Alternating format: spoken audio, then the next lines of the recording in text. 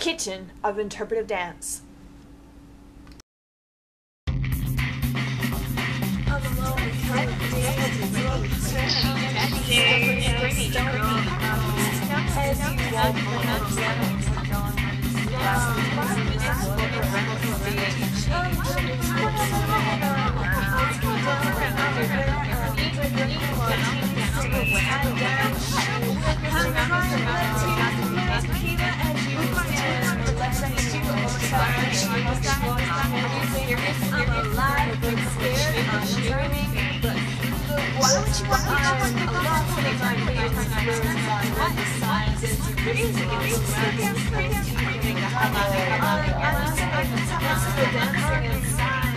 I'm is a warrior, but only child had me with black